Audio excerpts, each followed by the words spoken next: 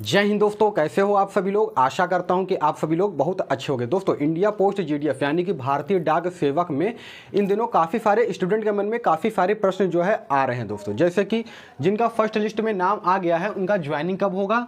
उसके अलावा क्या जी की सैलरी बढ़ाई गई है? महँगाई भत्ता कितना होने वाला है? एबीपीएम और बीपीएम के लिए सैलरी जो है वो कितनी होने वाली है दोस्तों? उसके अलावा थर्ड मेरिट लिस्ट कब जारी किया जाएगा? और क्या जी की जो नेक्स्ट वैकेंसी आएगी, वो क्या ट्वेल्थ बेस पे होगा? तो दोस्तों, सारा जानकारी हम आपको इस वीडियो के माध्यम से देंगे तो आप लोग वीडियो को देखिए, अंत तक देखिएगा, सारी जानकारी पाने के लिए, ठीक है ना? अगर चैनल पे आप लोग नए हो दोस्तों तो चैनल को सब्सक्राइब कर लीजिएगा, इसी प्रकार के गवर्नमेंट जॉब के मोर अपडेट के लिए। तो दोस्तों, आइए, वीडियो को स्टार्ट करते हैं। इंडिया पोस्ट जीडीएस से संबंधित इंपॉर्टेंट क्वेश्चन जो कि विद्यार्थियों का है दोस्तों, वो मैं आज की सेशन में कवर करूँगा। सबसे पहला सवाल आता है कि फ़र्स्ट लिस्ट वालों की ज्वाइनिंग कब तक होगी? तो दोस्तों, आप लोग ये मान करके चलिए कि जिनका फ़र्स्ट लिस्ट में नाम आ गया है, उनका फ़र्स्ट डॉक्यूमेंट वेरिफिकेशन भी हो गया और सेकंड डॉक्यूमेंट वेरिफिकेशन भी हो गया, ठीक है ना?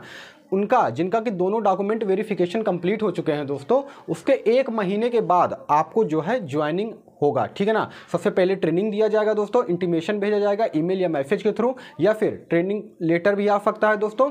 उसके बाद जब आप ट्रेनिंग पे जाएँगे, जैसा कि आप लोग को मालूम है कि एबीपीएम के लिए तीन से चार दिन का जो है वो ट्रेनिंग रखा गया है, और बीपीएम के लिए शायद पंद्रह दिन के आसपास का ट्रेनिंग रखा गया है। ठीक है ना?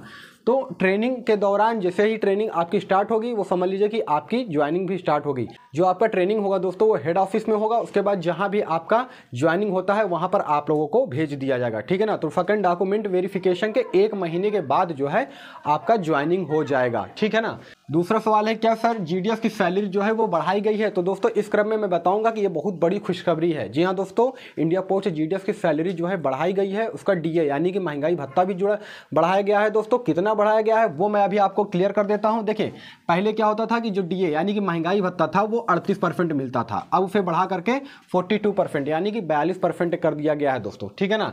यानी कि अब जो महँगाई भत्ता बयालीस के हिसाब से मिलेगा, वो मिलेगा आपको पैंतालीस सौ साठ रुपए, ठीक ना? यानी कि चार हज़ार पाँच सौ साठ रुपए दोस्तों। ये केवल डीए का मैं बता रहा हूँ। उसके अलावा बीपीएम की जो ड्यूटी रहती थी दोस्तों, यानी कि ब्रांच पोस्ट मास्टर की जो ड्यूटी रहती थी, वो चार घंटे का रहता था, जिनको जिसके लिए उनको बारह हज़ार रुपये मिलते थे। उसके बाद, अगर पाँच घंटे की ड्यूटी होती थी तो चौदह हज़ार पाँच सौ रुपये मिलते थे दोस्तों। अभी सुनने में ये भी आ रहा है दोस्तों कि अब एबीपीएम और बीपीएम की जो ड्यूटी है, वो आठ घंटे की करने की बात चल रही है। ऑल इंडिया ग्रामीण डाक सेवक के महासचिव S S Mahadevaiah sir ji ने इस बारे में बात वो कर रहे हैं दोस्तों। अगर इससे रिलेटेड कोई भी अपडेट मिलता है तो मैं वीडियो के माध्यम से आपको सूचित करूँगा।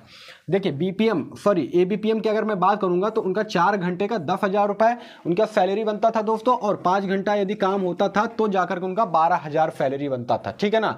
अगर अब इसमें आप लोग चार हज़ार पाँच सौ साठ रुपये जो कि महँगाई भत्ता को और ऐड करेंगे, और उसके अलावा office maintenance H R allowance वगैरह आप लोग जोड़ेंगे दोस्तों तो अब जाकर के जो बीपीएम यानी कि ब्रांच पोस्ट मास्टर का ग्रॉस सैलरी आपका बनता है, वो बनता है अट्ठारह हज़ार पाँच सौ रुपये और ये शुरुआती सैलरी है दोस्तों।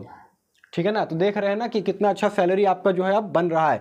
शुरुआत में क्या था कि 10 से बारह हज़ार रुपये मिलते थे, लेकिन अब क्योंकि महँगाई का ज़माना है दोस्तों तो इसमें अगर सैलरी नहीं बढ़ाएँगे तो एक परिवार का जो है वो पालन पोषण नहीं हो पाएगा। ठीक है ना? एक परिवार अच्छे से नहीं पल सकता है दस बारह हज़ार में दोस्तों, आज की डेट में।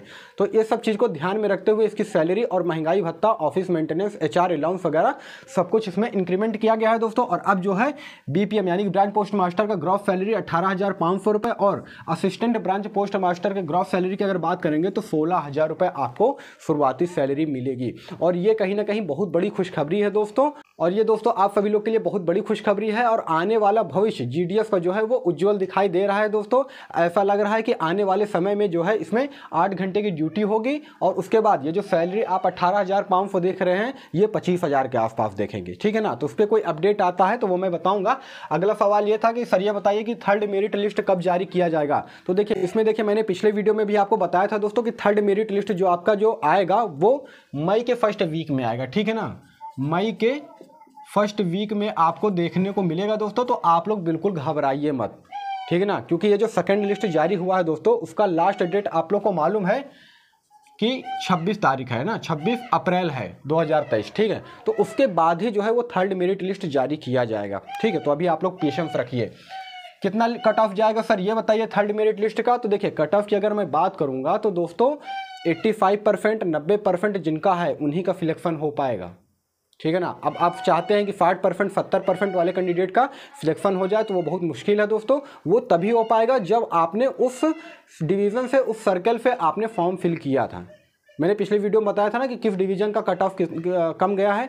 अगर नहीं, अगर आप लोगों ने वीडियो देखा है तो आप लोग तुरंत जा करके वीडियो को देखिए, ठीक है ना? नॉर्थ ईस्ट के जितने भी स्टेट आते हैं, उधर का कट ऑफ़ कम जाएगा।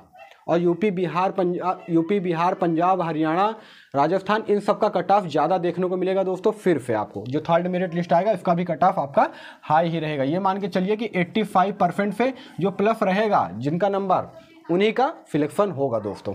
उसके अलावा, अगला सवाल था कैंडिडेट का कि, सर, ये बताइए, क्या जीडीएफ की नेक्स्ट वैकेंसी जो है, वो टेंथ बेसिस पे होगा? तो दोस्तों, इसके बारे में अभी कोई अपडेट नहीं आया है।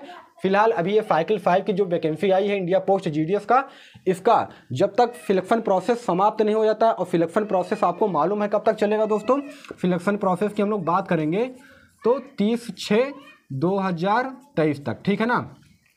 ये लास्ट डेट होने वाला है दोस्तों। उसके बाद ही कोई इन्फॉर्मेशन अगर मिलती है साइकिल फिक्स की वैकेंसी के बारे में तो मैं बताऊँगा अपडेट दूँगा दोस्तों कि जो नेक्स्ट वैकेंसी जीडीएस की आएगी ट्वेल्थ बेस पे होगी या फिर इंटर के बेस पे होगी। ठीक है ना? तो दोस्तों, यही सारा सब कुछ जानकारी देना था। वीडियो आपको कैसा लगा?